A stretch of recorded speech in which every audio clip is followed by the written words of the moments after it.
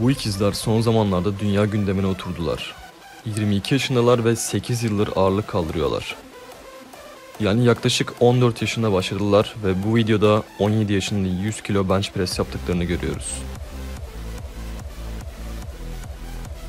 19 yaşına geldiklerinde 84 kilo vücut ağırlığında ilk 180 kilo denemesini görüyoruz.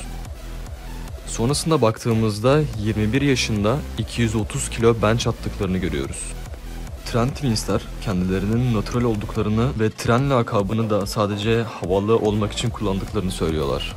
Ama bu ağırlıkların bitmek bilmeyen artışından kesinlikle natural olmadıklarını aşırı rahat bir şekilde anlayabiliriz. Birisinin kısa olması 230 kilo bench atabileceği anlamına gelmez. Zaten şimdi yorumlarda abi adamlar kısa olduğu için o kadar kaldırıyor diyen avaller olacak. Onu da söyleyeyim dedim. Bu yaşta bu kilolar gerçekten hiç normal değil. Son zamanlarda salonda yaptıkları eğlenceli hareketlerle viral oldular. Ve kısa sürede 200 bin civarında hayvani abone kazandılar. Çoğu kişi boylarının kısa ve küçük oldukları için onları mini Pekka'ya benzetiyor.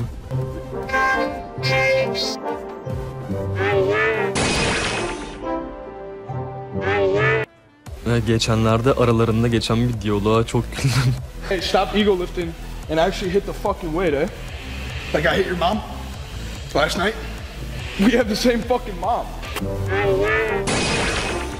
Bunları aşırı seviyorum ya. Türkiye'de de keşke böyle eğlenceli elemanlar olsa. Çakma Chris Bumstead'ın kondisyonu çok iyi. Güney Asya ülkesi olan Nepal'den çıkan bir vücut geliştirme sporcusuna göre mükemmel diyebiliriz.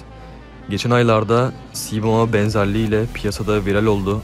Sibam bunu storiesinde falan paylaştı. Güzel bir olaydı.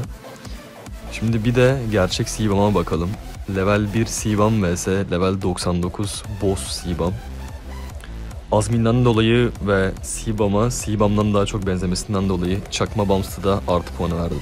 Bangladeş'te vücut geliştirme yarışmacısı ikincilik alınca kendine yediremedi ve sinirlenip ödülü tekmeledi. Bu yüzden de yarışmalardan ömür boyu ban yedi. Yani şimdi neler olduğunu tam bilemeyiz. Belki de birincilik onun hakkıydı ama jüride bir sıkıntı olabilir. Yine de böyle yapması yanlış diyemeyeceğim çünkü eğer ortada bir haksızlık varsa ben olsam ben de yapardım aynısını. Hatta ben protein tozunu tekmelemekle kalmazdım. Ödülü falan da fırlatır, yakardım. Ama haksızlık yoksa sadece kendisine yediremediği için bu şekilde bir hareket yaptıysa o zaman da yarrağımı yesin. Bu oyun sayesinde bir nesil Amerika'ya gitmeden Los Angeles, Las Vegas ve San Francisco gibi şehirleri sokağından mahallesine kadar bütün şehir planını ezberlemiş oldu. Açık ara en iyi GTA oyunudur. Namaz kılma modu bile aşırı gerçekçi. Yıl 2009, yaz tatilinde halama gidiyorum. O zamanlar bilgisayarım yok. Okuma yazmam falan da olmadığı için tam yazamıyorum. Kuzenime para şifresi, araba şifresi, HESOYAM falan yazdırıp oynuyorum. Hiçbir derdim yok. Hayattaki tek zevkim Los Santos sokaklarında gezip görev yapmak ve patenle gezen bikinili kızlara bakmak. Ara sıra özlüyorum o çocuk olduğum zamanları. Vay be San Andreas. Dünyanın en saçma, tatlı videolarından birisi. Tembel hayvanların yavaş hareket etmesinin sebebi enerjilerini korumak içindir. Çünkü metabolizmaları aşırı yavaş olduğu için enerji tasarrufu yapmaları gerekir. Yani gerçekten tembel oldukları için değil. Anladınız mı? Dua Lipa özellikle gençlerin şu sıralar en çok dinlediği yabancı uyruklu şarkıcı. Arnavut asıllı İngiliz güzel 14 Ağustos'ta Antalya'da konser verecek. O gelmeden kulisine isteklerinin listesi geldi. Listenin başında da döner ayran var. Şov haber yine şaşırtmıyor. Tüm Türkiye'nin ilgisini çeken mükemmel bir haber. Dua Lipa. Kim? Niye tanımıyor kimse ya Dua Lipa'yı? O da kim ya? Sokaktaki dayılara Dua Lipa'yı sormak nedir ya? Adamlar nereden bilsin amına koyayım? dönemde yıldızı en çok parlayan popstar Dua Lipa Türkiye'ye konsere geliyor. Ve gelir gelmez de şöyle bir et döner istiyor. Yanına da tabii ki olmazsa olmaz ayran içmek istiyor. Onların doları varsa bizim de dönerimiz var. One Kiss diye bir şarkısı var onu biliyorum. One kiss is all it takes. Acıktığım zaman neler hissettiğimin ya da değişmek istemenin bir önemi kalmıyor. Sadece yiyeceğim şeyleri düşünüyorum. İstediği şeyleri mutlaka yedirmeliyim. İstediğini yiyemezse çok öfkeleniyor.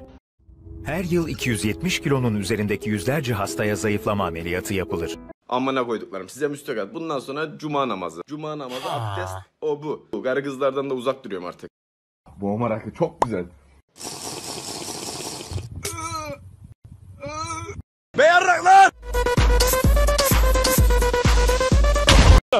Benim dinim neymiş falan filan diye merak ediyorsunuz. Benim dinim sıkı çalışma. Her gün de camideyim. Eat that fucking shit. Let's be God.